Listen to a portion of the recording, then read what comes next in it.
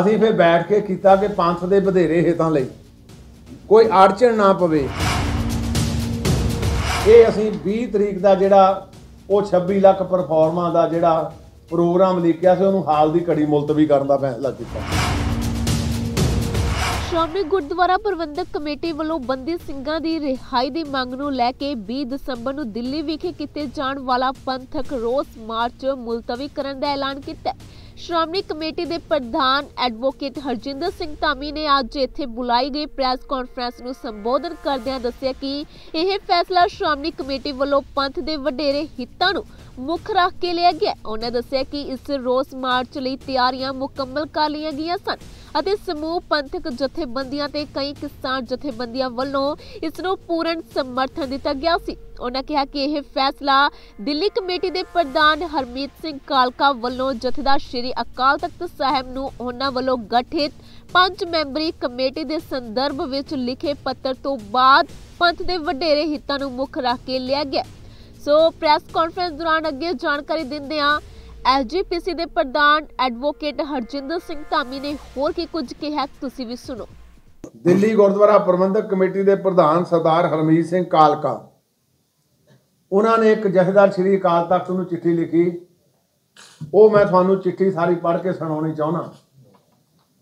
ਇਹਦੇ ਨਾਲ, ਚਿੱਠੀ ਦੇ ਨਾਲ ਫਿਰ ਬਾਅਦ ਦਾ ਮੈਂ ਪ੍ਰਤੀਕਰਮ ਤੁਹਾਡੇ ਕੋਲ ਬਾਅਦ ਚ ਦੇਣਾ ਮਾਨਯੋਗ ਸਿੰਘ ਸਾਹਿਬ ਜੀਓ, ਵਾਹਿਗੁਰੂ ਜੀ ਕਾ ਖਾਲਸਾ, ਵਾਹਿਗੁਰੂ ਜੀ ਕੀ ਫਤਿਹ। ਸਿੰਘ ਸਾਹਿਬ ਜੀ, ਆਪ ਜੀ ਵੱਲੋਂ ਬੰਦੀ ਸਿੰਘਾਂ ਤੇ ਫਾਂਸੀ ਚੱਕੀ ਕੱਟ ਰਹੇ ਭਾਈ ਰਾਜੋਆਣਾ ਜੀ ਰਿਹਾਈ ਲਈ ਬਣਾਈ ਪੰਜ ਮੈਂਬਰੀ ਕਮੇਟੀ ਵਿੱਚ ਦਾਸ ਨੂੰ ਵੀ ਮੈਂਬਰ ਵਜੋਂ ਪਾਇਆ ਗਿਆ ਹੈ। ਇਸ ਕਮੇਟੀ ਵਿੱਚ ਰਾਜਨੀਤਿਕ ਲੋਕਾਂ ਨੂੰ ਪਾਉਣ ਦਾ ਦਾਸ ਨੇ ਆਪ ਜੀ ਪਾਸ ਇਤਰਾਜ਼ ਵੀ ਜ਼ਾਹਰ ਕੀਤਾ ਸੀ। ਪੰਥ ਦੀ ਸਰਮੌਰ ਸ਼ਖ- ਸ਼ਖਸੀਅਤ ਅਤੇ ਸ- ਸੰਸਥਾ ਵੱਲੋਂ ਆਏ ਆਦੇਸ਼ਾਂ ਨੂੰ ਮੰਨਦੇ ਹੋਏ ਇਸ ਕਮੇਟੀ ਦੇ ਕੋਆਰਡੀਨੇਟਰ ਹਰਜਿੰਦਰ ਸਿੰਘ ਧਾਮੀ, ਪ੍ਰਧਾਨ ਸ਼੍ਰੋਮਣੀ ਕਮੇਟੀ ਵੱਲੋਂ ਮਿਤੀ 9/12 ਨੂੰ ਸੱਦੀ ਮੀਟਿੰਗ ਵਿੱਚ ਦਾਸ ਨੇ ਸਮੂਲੀਅਤ ਕੀਤੀ ਸੀ।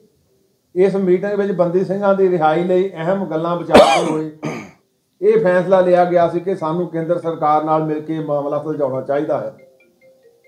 ਜਿਸ ਫੈਸਲੇ ਵਿੱਚ ਬਰਜਿੰਦਰ ਸਿੰਘ, ਸਰਦਾਰ ਬਰਜਿੰਦਰ ਸਿੰਘ, ਹਮਦਰਦ ਬੀਬੀ ਕਮਲਦੀਪ ਕੌਰ ਰਾਜਵਾਨ ਤੇ ਦਾਸ ਨੇ ਇਹ ਗੱਲ ਆਖੀ ਸੀ ਕਿ ਸਾਨੂੰ ਸਵਾਲ ਦੇ ਰਾਹ ਵਿੱਚ ਚੱਲਣਾ ਚਾਹੀਦਾ ਹੈ, ਜਿਸ ਸੰਬੰਧੀ ਦਾਸ ਨੇ ਆਪ ਜੀ ਨੂੰ ਫੋਨ ਤੋਂ ਵੀ ਜਾਣੂ ਕਰਵਾਇਆ ਸੀ। ਪਰ ਅਫਸੋਸ ਨਾਲ ਦੱਸਣਾ ਪੈ ਰਿਹਾ ਹੈ ਕਿ ਹਰਜਿੰਦਰ ਸਿੰਘ ਧਾਮੀ ਵੱਲੋਂ ਇਸ ਕਮੇਟੀ ਨੂੰ ਅਹਿਮੀਅਤ ਨਾ ਦਿੰਦੇ ਹੋਏ 20 ਦਸੰਬਰ 2023 ਨੂੰ ਦਿੱਲੀ ਵਿੱਚ ਰਾਸ਼ਟਰਪਤੀ ਭਵਨ ਤੇ ਧਾਰਨਾ ਦੇਣ ਦਾ ਐਲਾਨ ਕੀਤਾ ਹੈ, ਜੋ ਕਿ ਸਮੂਹਿਕ ਰੂਪ ਵਿੱਚ ਲਏ ਗਏ ਫੈਸਲੇ ਦੇ ਖਿਲਾਫ ਹੈ। ਦਾਸ ਨੇ ਹਮੇਸ਼ਾ ਹੀ ਸ੍ਰੀ ਅਕਾਲ ਤਖਤ ਸਾਹਿਬ ਵੱਲੋਂ ਲਏ ਗਏ ਹਰ ਫੈਸਲੇ ਨੂੰ ਨਤਮਸਤਕ ਕੀਤਾ ਹੈ। ਅਤੇ ਉਸ ਲਈ ਚੱਲਣ ਲਈ ਬਚ- ਉਸ ਤੋਂ ਚੱਲਣ ਲਈ ਵਚਨਬੱਧ ਹਾਂ। ਅਸੀਂ ਪੰਥਕ ਮਸਲਿਆਂ ਲਈ ਸਮੁੱਚੀ ਕੌਮ ਨਾਲ ਖੜੇ ਹਾਂ, ਪਰ ਸ਼੍ਰੋਮਣੀ ਗੁਰਦੁਆਰਾ ਪ੍ਰਬੰਧਕ ਕਮੇਟੀ ਵੱਲੋਂ ਲਿਆ ਫੈਸਲਾ ਪੰਥ ਦੇ ਹੱਕ ਵਿੱਚ ਨਹੀਂ। ਇਸ ਲਈ ਆਪ ਜੀ ਨੂੰ ਸਿਮਰ ਬੇਨਤੀ ਕਰਦੇ ਹਾਂ ਕਿ ਸ਼੍ਰੋਮਣੀ ਕਮੇਟੀ ਪ੍ਰ- ਪ੍ਰਧਾਨ ਨੂੰ ਬੁਲਾ ਕੇ ਲੈ ਗਏ ਪੰਜ ਮੈਂਬਰੀ ਕਮੇਟੀ ਦੇ ਫੈਸਲੇ ਨੂੰ ਲਾਗੂ ਕਰਾਉਣ ਦਾ ਆਦੇਸ਼ ਕਰੋ ਜੀ। ਹੁਣ ਇਹ ਕਮੇ- ਮੀਟਿੰਗ ਸਾਨੂੰ ਆ ਜਿਹੜੀ ਚਿੱਠੀ ਆ ਸਿੰਘ ਸਾਹਿਬ ਨੇ ਭੇਜ ਦਿੱਤੀ ਸੀ। ਅਸੀਂ ਫਿਰ ਬੈਠ ਕੇ ਕੀਤਾ ਕਿ ਪੰਥ ਦੇ ਵਧੇਰੇ ਹਿੱਤਾਂ ਲਈ। ਕੋਈ ਅੜਚਣ ਨਾ ਪਵੇ। ਫਰਾਕ ਦਿਲੀ ਦਿਖਾਲ ਦੇ। ਅਸੀਂ ਫਿਰ ਇਹ ਫੈਸਲਾ ਲਿਆ ਕਿ ਇਹ ਜਿੱਡਾ ਵੱਡਾ ਹੰਗਾਰਾ ਲੋਕਾਂ ਨੇ ਦਿੱਤਾ ਸੀ, ਉਹਨਾਂ ਦਾ ਵੀ ਧੰਨਵਾਦ ਕਰਦੇ ਹਾਂ। ਪਰ ਕਿਉਂਕਿ ਅਸੀਂ ਪੰਜ ਮੈਂਬਰੀ ਤੋਂ ਪਹਿਲਾ ਫੈਸਲਾ ਸੀ ਸਾਡਾ, ਮੈਂ ਤਾਂ ਬਾਰ-ਬਾਰ ਕਹਿ ਰਿਹਾ। ਇਹ 3 ਦਸੰਬਰ ਨੂੰ ਫੈਸਲਾ ਸੀ ਸਾਡਾ। ਕਮੇਟੀ ਦੀ ਮੀਟਿੰਗ 9 ਨੂੰ ਹੋਈ ਆ। ਕਮੇਟੀ 6 ਨੂੰ ਹੋਂਦ ਵਿੱਚ ਆਈ ਆ। ਪਰ ਫਿਰ ਵੀ ਵਧੇਰੇ ਹਿੱਤਾਂ ਲਈ ਵੀ ਤਾਂ ਕਿ ਜਿਹੜੀ ਸ੍ਰੀ ਅਕਾਲ ਤਖਤ ਸਾਹਿਬ ਦੀ ਕਮੇਟੀ, ਉਹਦੇ 'ਚ ਕੋਈ ਤੋੜ-ਫੋੜ ਨਾ ਹੋ ਜਾਏ, ਉਹਦੇ 'ਚ ਕੋਈ ਵਿਚਾਰਕ ਮਤਭੇਦ ਨਾ ਆ ਜਾਣ। ਇਹ ਅਸੀਂ 20 ਤਰੀਕ ਦਾ ਜਿਹੜਾ ਉਹ 26 ਲੱਖ ਪਰਫਾਰਮਾਂ ਦਾ ਜਿਹੜਾ ਪ੍ਰੋਗਰਾਮ ਲਿਖਿਆ ਸੀ, ਉਹਨੂੰ ਹਾਲ ਦੀ ਘੜੀ ਮੁਲਤਵੀ ਕਰਨ ਦਾ ਫੈਸਲਾ ਕੀਤਾ। ਇਹ ਇਸ ਕਰਕੇ ਫੈਸਲਾ ਕੀਤਾ ਕਿ ਇਹ ਜਿਹੜੀ ਪੰਜ ਮੈਂਬਰੀ ਕਮੇਟੀ ਸ੍ਰੀ ਅਕਾਲ ਤਖਤ ਸਾਹਿਬ ਵੱਲੋਂ ਬਣੀ ਆ, ਤੇ ਇਹ ਕਾਲਕਾ ਜੀ ਵੱਲੋਂ ਆਈ ਚਿੱਠੀ। ਭਈ ਇਹ ਕਿਸੇ ਤਰ੍ਹਾਂ ਆਪੋ ਵਿੱਚ ਹੀ ਸਾਡੇ ਕੁਝ ਜਿਹੜੇ ਆਪਣੇ ਵਿਚਾਰ ਆ, ਉਹ ਭੇਤ, ਉਹਨਾਂ ਦੇ ਵਿੱਚ ਭਿੰਨ ਭੇਤ ਨਾ ਹੋ ਜਾਏ।